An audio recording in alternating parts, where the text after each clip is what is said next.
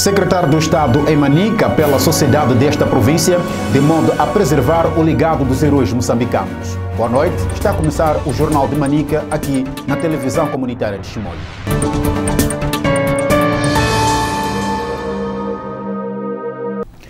Secretário do Estado em Manica apela à sociedade desta província de modo a preservar o legado dos heróis moçambicanos.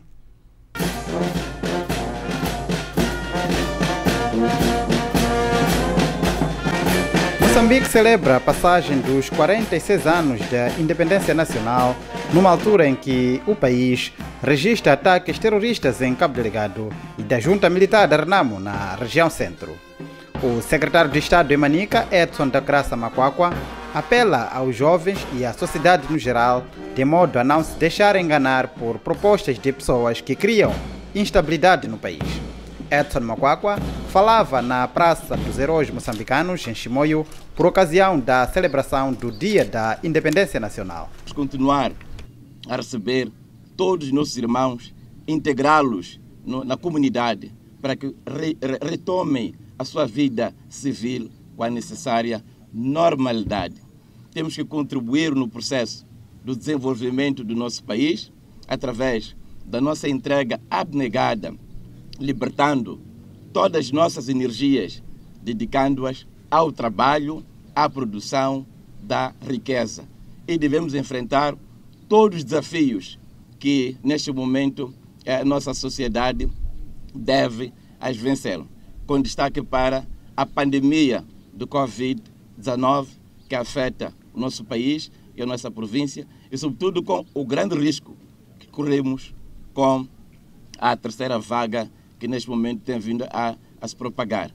Devemos todos cumprir na íntegra todas as recomendações, todos, todas as normas emanadas nas, eh, nos decretos do Conselho de Ministros. Temos o terrorismo que afeta o nosso país. Queremos alertar a toda a sociedade, muito em particular aos jovens, para que se distanciem de todos os atos práticas, movimentos, tendências para a violência e, sobretudo, para que nunca se deixem instrumentalizar, manipular para engrossar fileiras de terroristas que só semeiam a dor e o luto na família moçambicana. Mesmo apelo foi deixado pela governadora de Manica, Francisca Tomás, que durante uma conferência de imprensa exortou a população a ser vigilante, denunciando pessoas de conduta duvidosa nas comunidades. Queremos apelar a toda a população de Manica que devemos consolidar esta unidade nacional e a paz partindo da família até a todos os vários níveis da sociedade.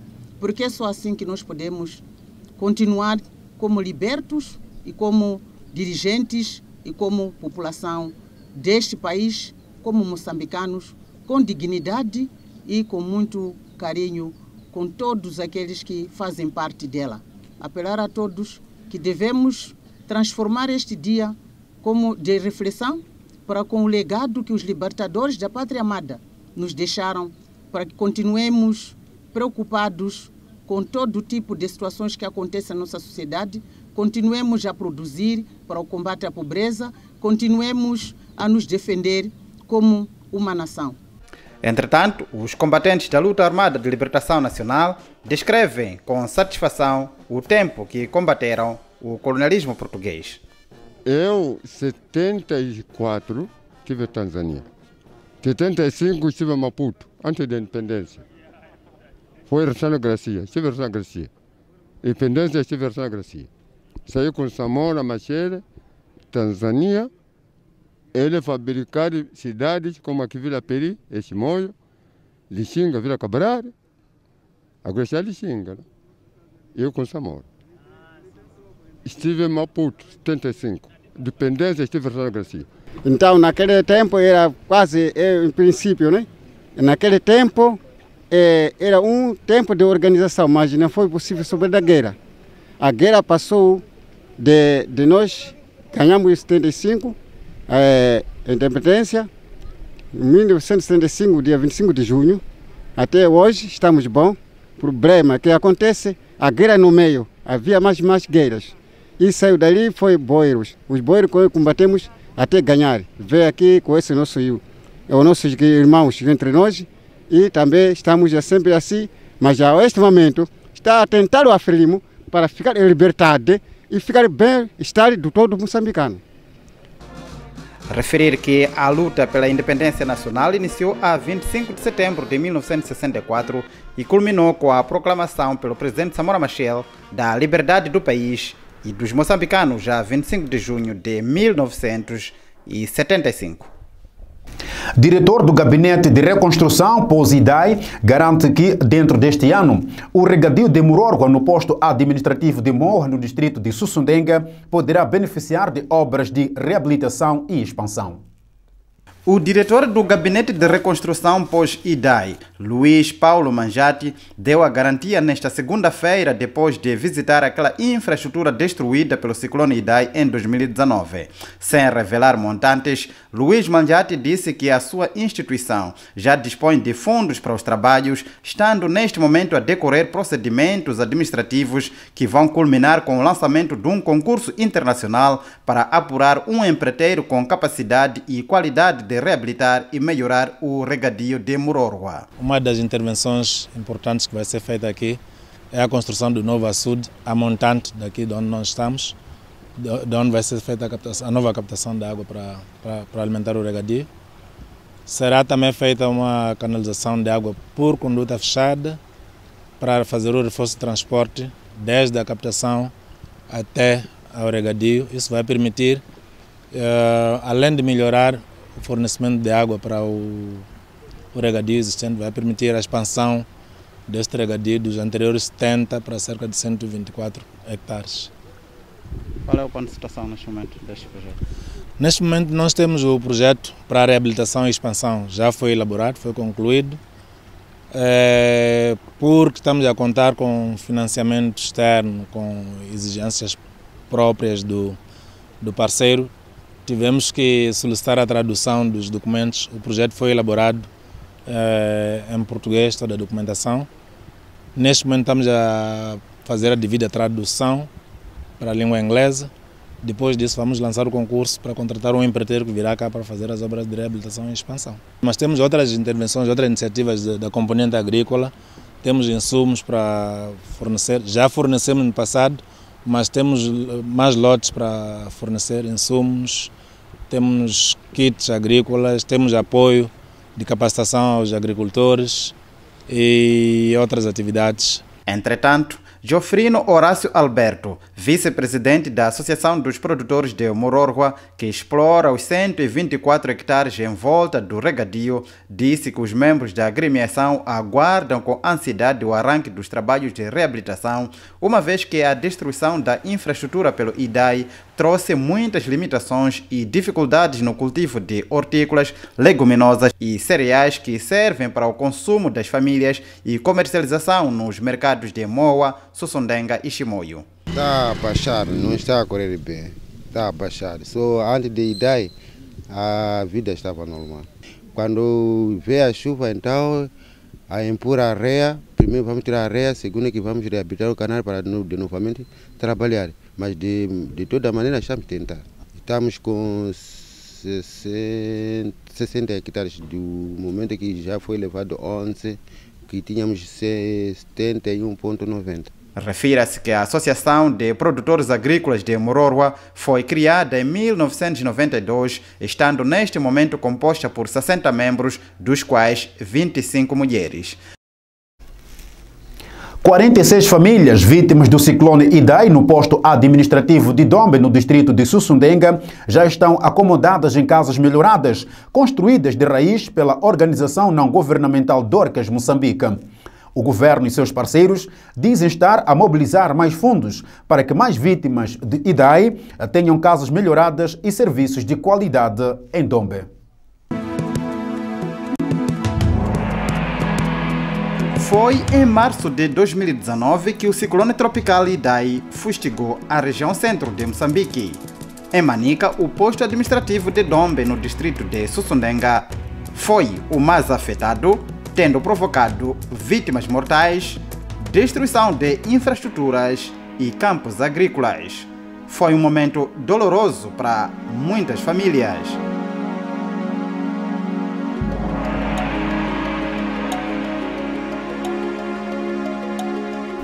Tentei nadar, nadar, cheguei no outro lado, senti. Quando senti, começaram a procurar os outros nada, papai nada nem mamãe. E assim mesmo estou no zero. Tinha uma banca, era quase coisa de negócio. mwana wangu e, wakati wa kuvira lino chikwepwete mpango yaya izararo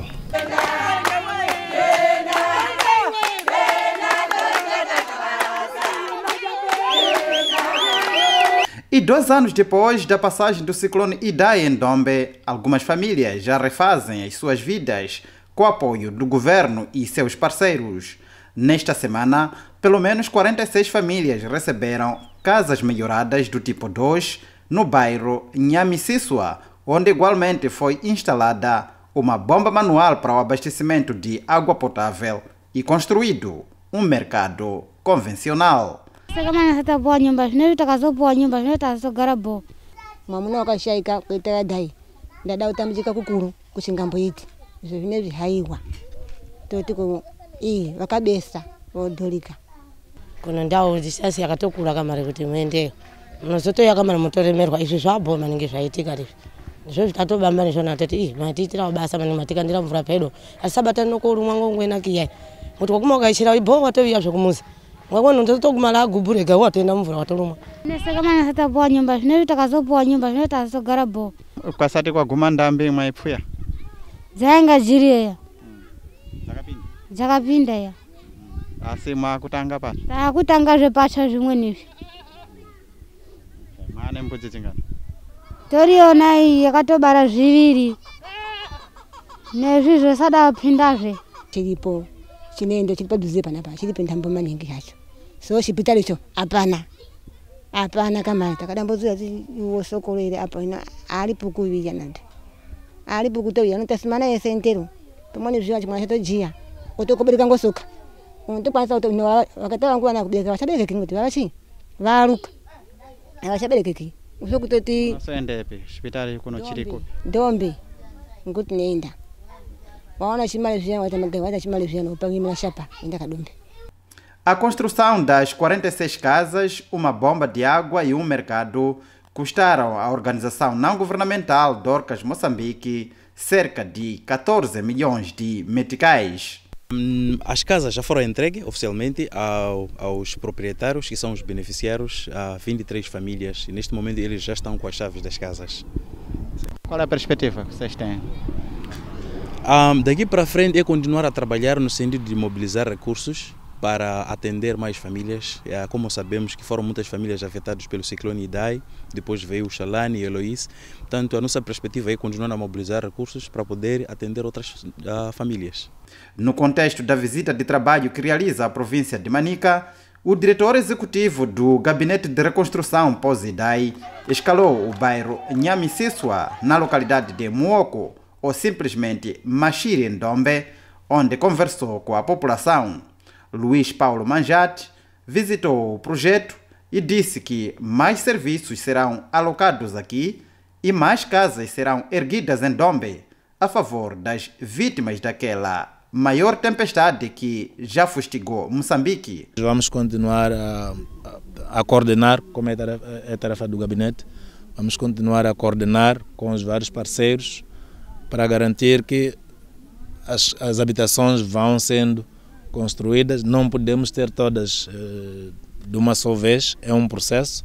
Já temos eh, um certo número e continuaremos a trabalhar no sentido de, de ir tendo cada vez mais pessoas abrangidas, mais pessoas acomodadas em habitação mais segura. Neste centro em particular, eh, parece que não há uma unidade sanitária. Há alguma perspectiva?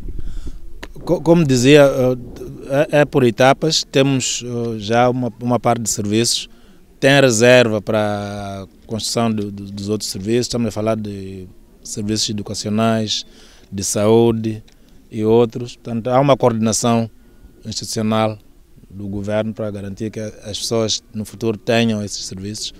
Mas aqui na, na, na região podem se socorrer de, de, de, desses serviços de saúde eh, enquanto não tiver uma unidade aqui localmente onde nós estamos. Tomás Jim com imagens de Manuel José a partir de Dombe para televisão comunitária de Chimoio.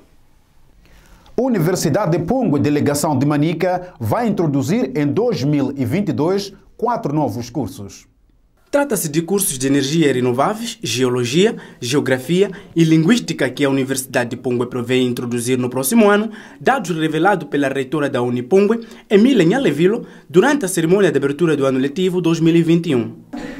Foram-se concebidos e acreditados cursos pelo CNAC, os primeiros, na verdade, os primeiros quatro novos cursos da Universidade de que terão seu início em 2022, nomeadamente o curso de Energias Renováveis, o curso de Geologia, o curso de Geografia e o curso de Linguística. Esses quatro cursos são os primeiros cursos made Universidade de Pungue, eu penso que merecem uma salva de palmas. Nesta senda, ainda estão em elaboração outros currícula que posteriormente serão submetidos ao processo de acreditação junto ao CNAC e acreditamos que até 2023 teremos mais cursos acreditados made in Unipungue. Comparando com o ano letivo passado, aquela universidade registrou redução de estudantes inscritos de 6.110 para 5.127. Emília Nhalevilo reconheceu as dificuldades que a Universidade de Pungue tem vindo a enfrentar, com destaque do aumento de docentes com a formação de mestrado e doutoramento. O equilíbrio de gênero continua sendo um dos nossos grandes desafios, pois apenas cerca de 20% dos docentes são mulheres e cerca de 43% dos estudantes são mulheres.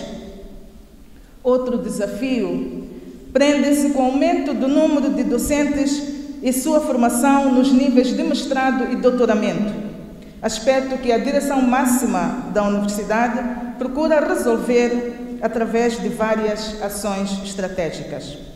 Entretanto, a governadora de Manica, Francisca Tomás, desafiou aos estudantes e pesquisadores daquela instituição superior de forma a efetuar seus trabalhos com seriedade, de modo a ajudar no desenvolvimento da província com base nos recursos que a província possui. Lançarmos uma pesquisa na nossa província de como fazer a exploração dos nossos recursos naturais. Recursos naturais que temos na nossa província. Estamos neste momento a nos deparar com situações extremas de devastamento de florestas para explorar madeira e vários outros bens que existem na nossa floresta. Estamos a nos deparar neste momento com a situação da mineração, principalmente no distrito de Manica, e poluindo as águas que nós temos a partir do próprio Rio Pungue, como a vossa universidade tem este nome, está muito poluído. Igualmente os rios Rivue, Rio Messica e hoje a barragem de Escamba já está a ser contaminada por muitas águas coloridas que advêm da exploração de recursos minerais no nosso distrito de Manica. Há bem pouco tempo, Sua Excelência Presidente Felipe Jacinto Nyusi, estando no Zimbábue, ele disse que se as nossas águas em Moçambique estão poluídas, a maior culpa é nossa, porque nós não estamos a fazer a melhor gestão dos nossos recursos naturais. A Associação dos Estudantes da Universidade de Pumbe, na sua mensagem, no ano de 2020, a associação levou a cabo várias atividades com destaque no combate à corrupção, prevenção da propagação da Covid-19, HIV-Sida, entre outras. Realização da conferência sobre oportunidades de financiamento de projetos de estudantes para geração de renda, criação de um programa designado, designado Jovem Universitário na antena da Rádio Acadêmica, visita ao Centro do Ensino à Distância e ao ESTEC, Manica. A aula inaugural desta universidade decorreu sob o lema O contributo da Universidade de Pungue na promoção de uma gestão comunitária sustentável dos recursos naturais, subordinado ao tema Crescer com a Comunidade, moderado pelo professor Dr. Jaime Sitaimo, membro do Conselho de Estado de Moçambique. Esta é a via através da qual o homem conclui e a comunidade em que ela se insere poderão crescer juntos, fertilizando-se mutuamente e juntos, dando frutos saudáveis em terrenos férteis, regados por rio Cuba de águas abundantes. Autoridades dos Serviços Provinciais de Migração de Manica detiveram 33 imigrantes ilegais que pretendiam entrar no Zimbábue com destino à África do Sul. A Polícia da República de Moçambique, em Manica, deteve 33 imigrantes ilegais no posto fronteiriço de Maspanda, provenientes de Malau, que seguiam para a África do Sul em busca de melhores condições de vida. Segundo o porta-voz dos Serviços Provinciais de Imigração de Manica, Jorge Machava, os estrangeiros que caíram nas malhas da polícia não possuíam nenhuma documentação e as linhas de fronteira na província de Tete são longas e apresentam fragilidades no controle, o que facilita a entrada de imigrantes ilegais. Na verdade, nós não podemos aceitar que os facilitadores nunca caem. Todos caem, mas sabe-se que para controlar um cidadão estrangeiro ilegal não é fácil. A linha da fronteira é longa, eh, o trabalho está sendo feito, por isso, se conseguem passar de Tete, mas da província de Manica não passam. Quantos mandantes já caíram? Não temos nenhum cá, porque cá não é posto a ponto de entrada. Mas reconhecem que há fragilidade vossos projetos? A linha da fronteira é longa, pode haver fragilidade. Uns postos não estão controlados, usam daqueles pontos que não estão controlados para poder entrar na, em Moçambique. Até então, desde o princípio do ano foram registrados na província cerca de 238 cidadãos estrangeiros ilegais que foram repatriados e Malawi é o principal ponto de entrada destes, que são compostos maioritariamente por bengales, paquistaneses, malauianos e zimbabianos. Vêm para cá, saem de Tete, saem de Malawi, Tete, mesmo que sejam paquistaneses ou bengali, o ponto de entrada é Malawi, daí procuram forma de como atravessar Moçambique até a África do Sul. Estes imigrantes ilegais nas imagens são de Malawi e contam como conseguiram atravessar a fronteira até chegar a Machipanda. ife ndirama yochitira zimene zonse ife tilibe ndena nkati mayenda njira zachidule basi. Zachidule Mm. simunapasa ndalama polisi njira imene yonse munapita ayi palibe amene tinampasa polisi una aliyonse ndirama munaokothawa basi. Eh kumangoyenda za ntchire basi. Ani maganizo kuti mwina tikathese umphawi umene tili nawo kuchokera ku malawi. Nde chifukwa ti zinthu zavuta atigwira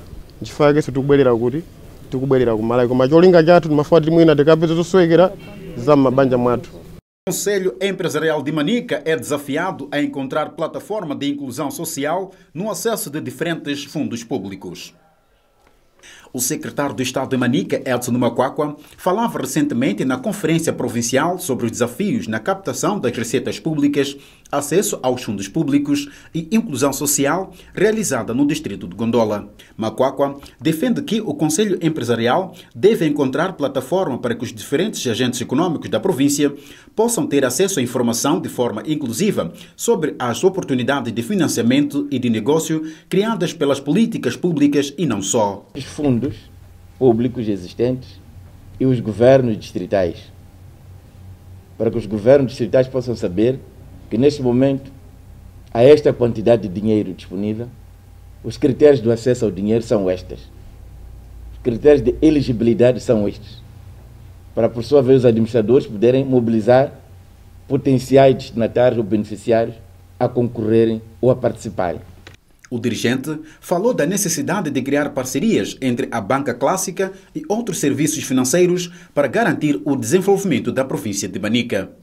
Os empresariais podemos garantir que os diferentes agentes econômicos nos distritos possam ter no seu conselho empresarial uma plataforma útil para garantir o acesso à informação sobre oportunidades de financiamento e de negócio criado pelas políticas públicas e não só.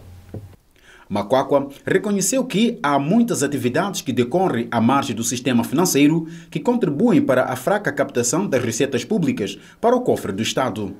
Para que o Estado possa ter fundos públicos à disposição dos cidadãos, primeiro também tem que ter receitas públicas. Porque os fundos públicos, no fundo, são despesas do Estado. Então, antes das despesas, encontram-se as receitas. Então, a ideia é como também melhorarmos a nossa capacidade de captação de receitas públicas. Sabemos que a nossa província de Manica está bem posicionada. É uma das melhores neste momento em termos de capacidade de captação, comparando com as outras províncias. Estamos nos lugares cimeiros, mas devemos nos desafiar para uma autossuperação, sentido de atingirmos outros patamares ainda. Nós estamos cientes de que, apesar de estarmos bem em termos do nível de cobrança de receitas, podemos estar melhor ainda. Há muita atividade econômica que decorre à margem do sistema financeiro, à margem do sistema de tributação e do sistema fiscal. Particularmente na área da exploração dos recursos, dos diversos recursos. Muita atividade fora da lei. Muita fuga ao fisco.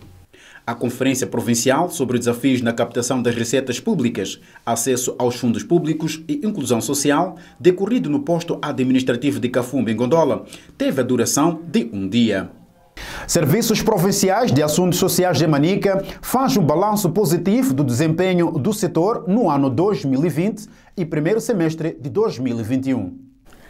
A Direção Provincial dos Assuntos Sociais em Manica realizou recentemente a primeira reunião provincial de planificação sublema, por uma planificação participativa, abrangente e de qualidade. A reunião teve duração de dois dias e visava fazer o balanço do desempenho provincial, do plano social e desenhar o próximo plano econômico para o ano 2022. Nesses termos, gostaríamos de apontar algumas eleições provinciais resultantes de nossas sessões de trabalho do decurso desta primeira reunião provincial de planificação, como?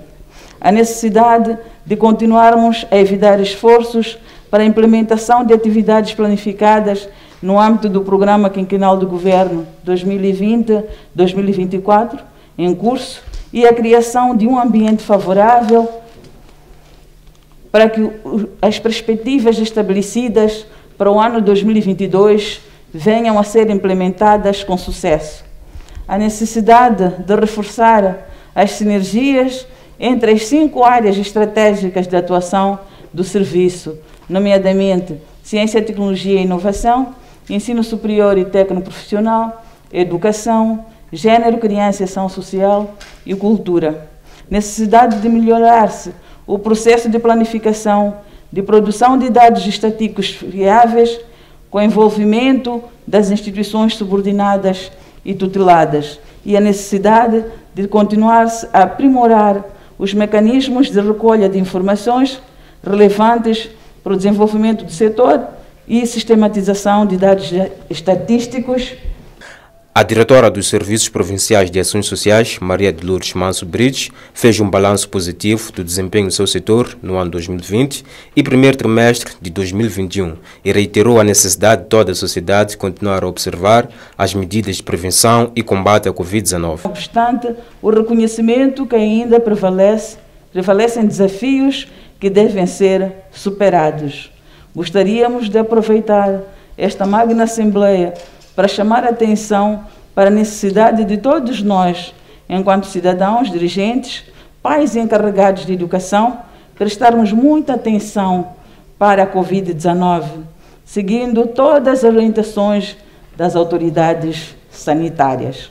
Aqui chegados, é com elevada honra e satisfação que, em nome do Serviço Provincial de Assuntos Sociais e em meu nome próprio, declaro encerrada a reunião provincial de planificação 2021. A todos, votos de um bom regresso a casa e sucessos nos desafios do dia a dia. Os participantes desta reunião acreditam que o encontro superou as expectativas, pois houve troca de experiências entre distritos desta província, o que vai melhorar o desempenho de trabalho da Direção Provincial dos Assuntos Sociais em Manica. E espero que, partindo deste encontro, alguma coisa vai melhorar naquilo que é o desempenho no trabalho. Em termos da planificação em si, tendo em conta nós vínhamos a trabalhar uh, num instrumento anterior, em que as atividades na sua planificação era conjunta, sem observarmos aquilo que são os instrumentos atuais da descentralização, refiro do decreto 63 e 64, a quando a descentralização, e neste processo de planificação, durante esta reunião de planificação, acabamos de verificar que temos que desagregar aquilo que são as, os indicadores referentes a serviços provinciais e de assuntos sociais em relação à direção provincial do gênero criança ação social, refiro na área do gênero criança ação social, e não só no seu todo quanto aquilo que é amando do próprio serviço provinciais, reparamos aquilo que são os conselhos do Estado, o Conselho Executivo tem suas atividades e o representante do Estado também tem suas atividades. Considero eu que foi um encontro muito positivo, porque permitiu que as ações de educação no seu, no seu todo, tanto como as ações no âmbito de, dos assuntos sociais se harmonizasse todos os indicadores. E foi um encontro de troca de experiência e tendo em conta que é o primeiro neste, neste âmbito de descentralização, portanto considero eu que o encontro foi muito, muito positivo para os distritos e considerando que é necessário que haja harmonização, os indicadores no âmbito do, dos assuntos sociais e tanto como no âmbito da, da, da, da educação no seu todo. Colegas, familiares, amigos e autoridades governamentais de Manica renderam última homenagem ao comandante provincial Francisco Raul Simões, que perdeu a vida vítima de acidente de viação no distrito de Gondola. O comandante provincial da Polícia da República de Moçambique, Francisco Raul Simões, perdeu a vida na sequência de um acidente de viação no distrito de Gondola. Simões era natural da Zambésia e exercia o cargo de comandante provincial desde março de 2017 em Manica.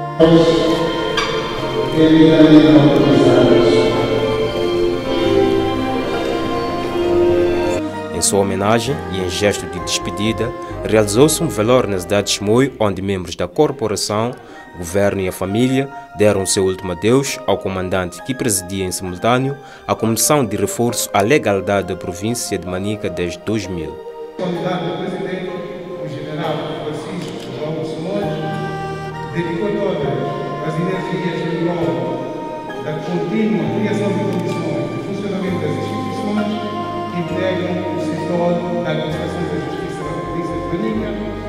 assim como na consolidação das boas relações interinstitucionais. Simões ingressou nas fileiras da PRM em 1990, fazendo parte do terceiro curso básico no Centro Regional de Formação Básica da Unidade da Polícia Popular de Moçambique, tendo sido afeto após o curso em Sofala e durante o percurso na polícia desempenhou várias funções até a data da sua morte. Demos hoje esta singela homenagem a um homem que não poupou a sua vida na luta pela garantia da ordem, segurança e tranquilidade públicas e junta-se desta feita a outros heróis que derramaram sangue pela causa desta pátria. Estamos certos que o grande vazio que deixaste em nós e na sua família jamais será preenchido. A dor que sentimos é imensurável. Não há nenhuma palavra que possa ser dita capaz de confortar os nossos corações. O desaparecimento físico de Raul Simões, segundo a governadora de Manica, Francisca Tomás, chocou o Conselho Executivo Provincial, funcionários e a população e representa uma grande perda.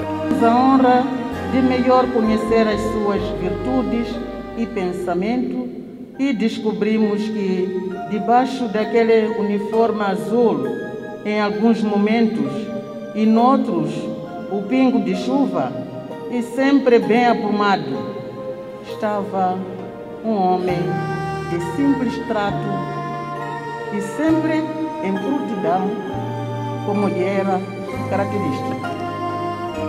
Em defesa da pátria, o general Simões soube no momento preciso abandonar a casa e o gabinete e instalar-se no teatro das operações, tornando num comandante decidido e abnegado, que soube levar a bom termo a missão nobre da defesa da pátria, da integridade territorial e da soberania. Para o secretário do Estado na província de Manica, Edson Macuacua, o general Simões era um homem exemplar no seio da polícia e na sociedade, e enquanto comandante da província de Manica, notabilizou-se na prevenção e combate à criminalidade. Comandante consequente, flexível, ágil, carismático, eficaz, eficiente e operativo, e sempre às ordens e na linha da frente no cumprimento da sua nobre missão de garantir a defesa da ordem, segurança e tranquilidade públicas, permitindo um funcionamento normal das instituições públicas e privadas e um desenrolar das atividades socioeconômicas na província de Manica. Por sua vez, a família do finado agradeceu o gesto feito pela PRM Manica em homenagem ao finado que seguiu para a província de Nampula, onde o corpo será depositado. O governo e a população de Manica estejam conosco nesse momento difícil. E terceiro, também pelas mensagens que nós ouvimos aqui, porque realmente deu-nos entender que ele cumpriu a sua missão enquanto esteve aqui conosco. Muito obrigado a todos. General Simões mora aos 56 anos e deixa sete filhos. Está completa a informação no Jornal de Manica, aqui na televisão comunitária de Chimoio. Caro telespectador, lembre-se, a Covid-19 é uma realidade. Observe com rigor todas as medidas da prevenção desta pandemia. Obrigado pela atenção dispensada e até a próxima oportunidade. Até lá, passe bem.